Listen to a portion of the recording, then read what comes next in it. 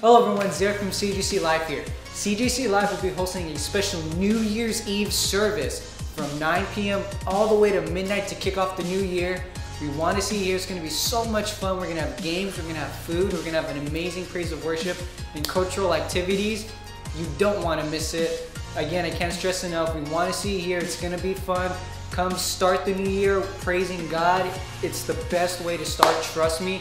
So we want to see you here New Year's Eve from 9 p.m. all the way to the new year.